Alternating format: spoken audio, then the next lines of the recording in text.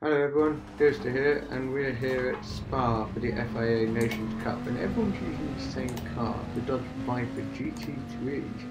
I'm heading up with my best qualifying lap for race 2 this evening, and it's not bad, but it's not great. But at least we're inside the top 10. Now, this race didn't really go that great for me, and we'll find out why soon enough. Here we go now, absolutely mega start from the field, lots of smoke from the rear tyres, we're heading into the source. This is where you really end up getting a little bit argy-bargy. Look, we're getting loads of elbows out here. No doubt we're going to pick up penalties. You're already starting to see the red flashing all over everyone's head.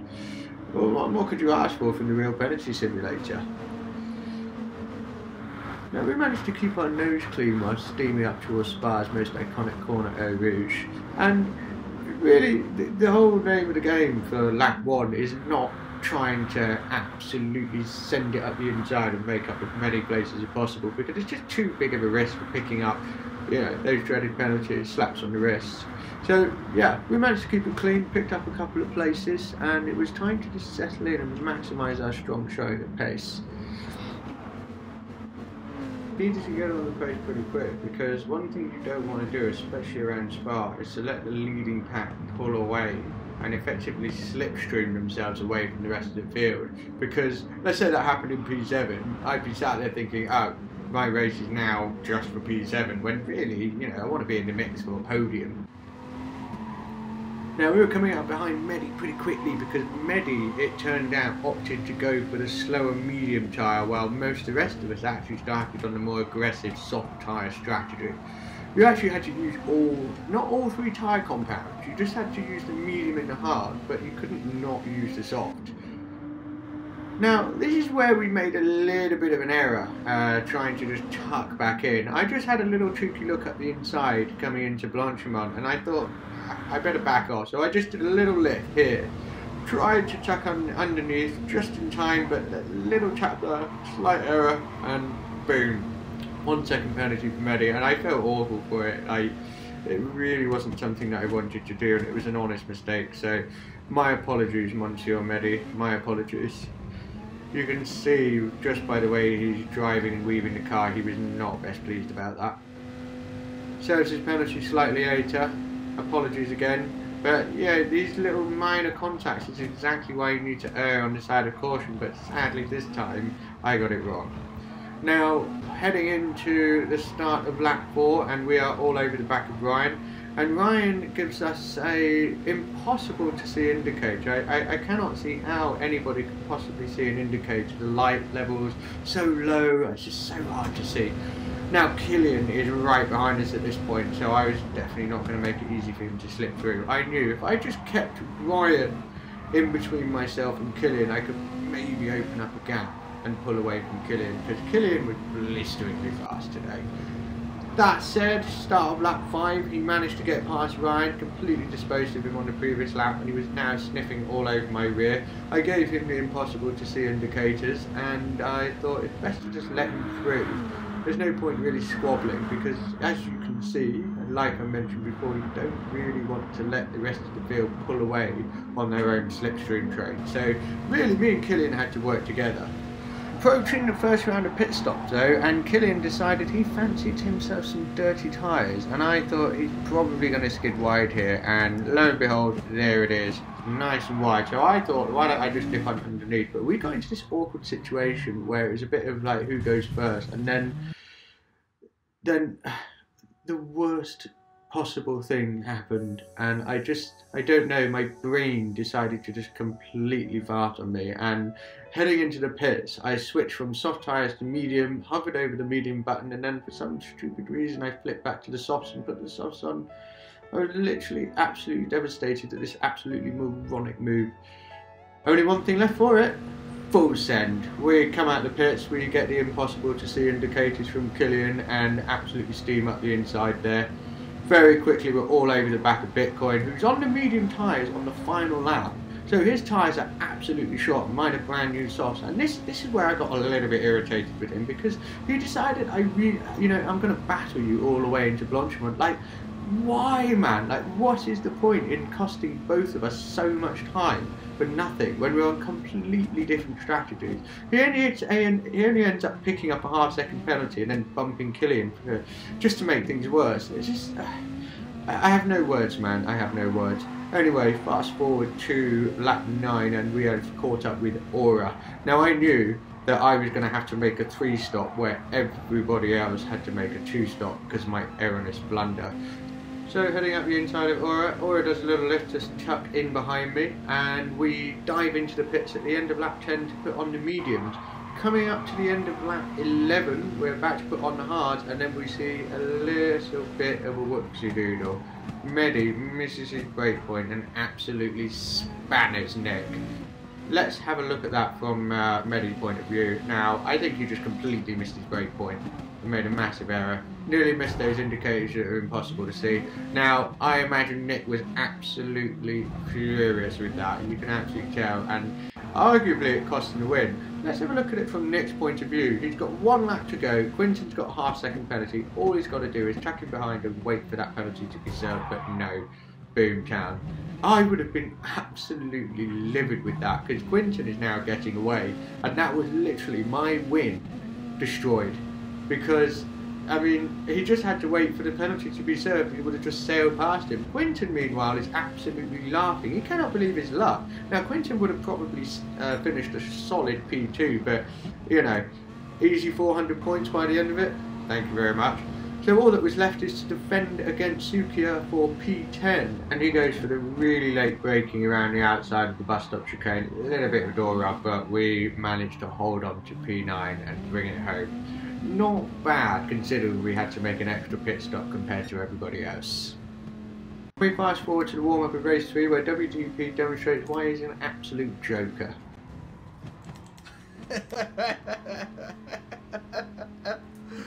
uh...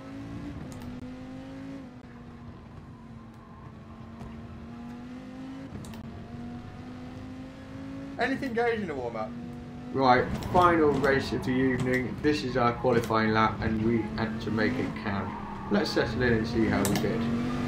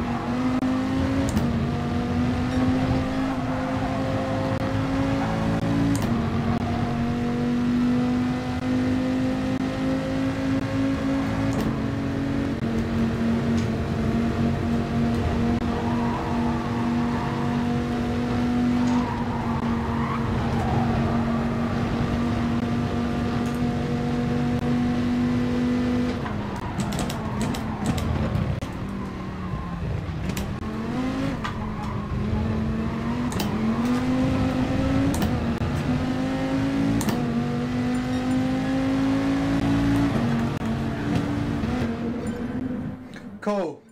Extremely cool because that lap ultimately managed to keep us P3, which is really, really strong starting position.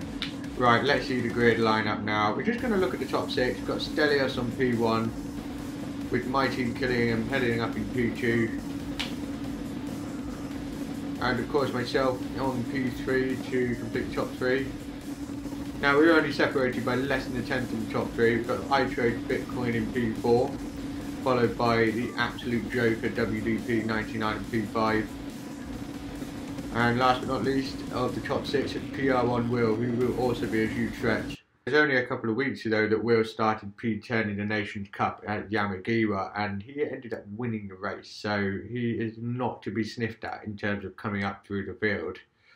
Very shortly, grid lineup will be over and we will begin the race. Now, this is where it really matters. We cannot bin this opportunity.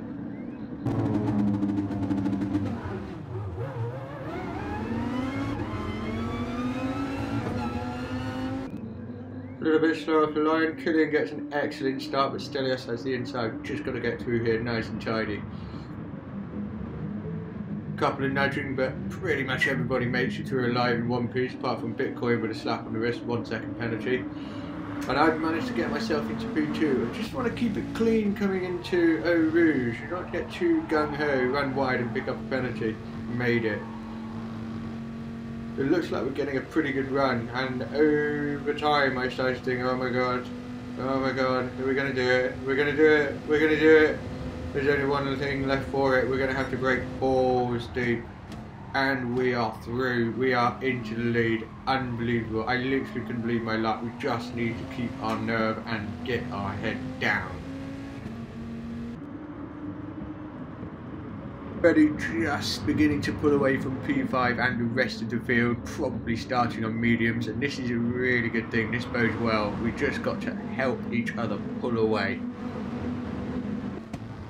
Stelios is still absolutely glued to our backside. I can probably smell what I had for dinner yesterday, and he's going to keep doing so if he's going to make another move at this start of lap 2. And here it is, true to his word, he's not going to take anything lying down, manages to spot my impossible to see indicators and makes a move up the inside.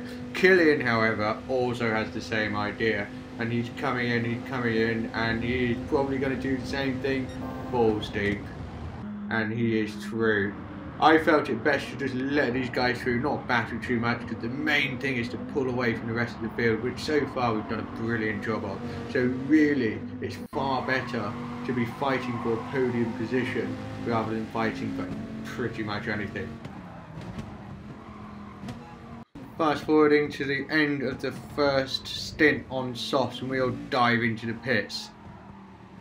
I actually opted for the same as Killian and I slapped on the medium tyres whereas Stelios, curiously, decided to take a little bit of a gamble and dive onto the hard tyres.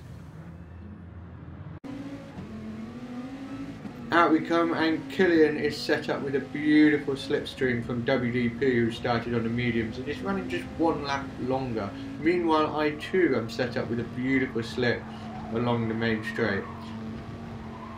And this is also another moment which makes a lot of sense to just let me glide through because if I'm on the faster tyre, Stelios knows by tucking in behind my slip for the rest of the lap, he can energise his hard tyre stint. He's only on for one lap, so he needs to maximise it.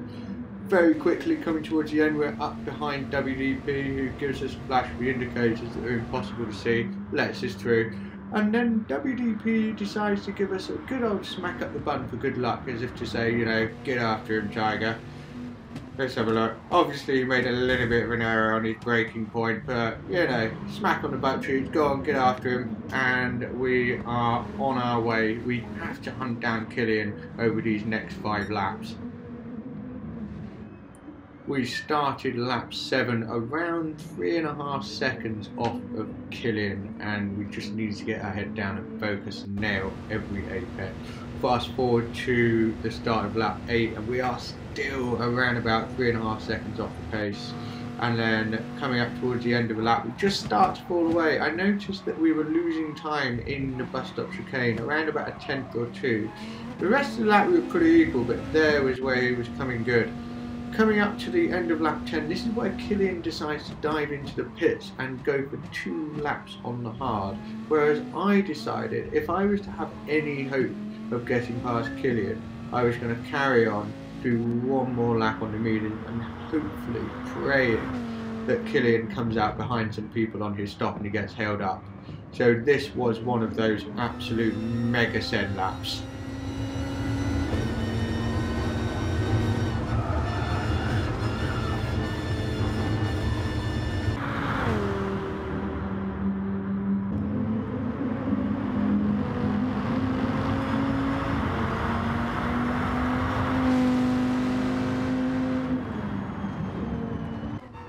Into the pits and trying to find out have we done enough, have we got our luck and no, we came out pretty much the same space apart as we went in before. We were however crucially ahead of the rest of the field so all we had to do now is bring it home. Coming up to the bus stop chicane, I was absolutely savouring the opportunity to bring home my best points haul ever in an FIA event absolutely sensational. I thoroughly enjoyed this race, and here we are across the line with Stelios a solid P3. His gamble didn't quite come good, but because we all worked together, we didn't get tangled up in the melee at the back, as you can see there. Probably VLX drone sending it into the wall just below us. What a race. I want to say massive kudos and respect to Stelios and Kilian. I really enjoyed racing you guys. Big respect hard nose racing looks brilliant. And there is confirmation of our 357 points, best points score ever. Over the moon with that. Now let's talk about the Dodge Viper. I was quite surprised by this one. I'd not really known the car, but I very quickly realised that it was absolutely suited down to the ground for me because it's got such a sharp front end and I really like that in an FR car. Now what I noticed in qualifying you were rewarded for really throwing the car into the corner if you got it right, if you were brave. However, you did need to switch your style to a smoother input during the race to save the rear tyres. If you were able to switch between the two, ultimately you were onto a winner in terms of qualifying and race strategy. And that is ultimately what came good. For me, I like smooth input. That favours my style. I tend not to throw the car into a corner, which is why my qualifying was strong, but not necessarily on the league that some of the other guys were pulling. Right, that's all from me. Until next time, make sure you hit the subscribe button and change it so that you receive all notifications of my future videos. Thank you all so much for watching. I hope you enjoyed it as much as I did in producing this video, and I look forward to seeing you all again soon.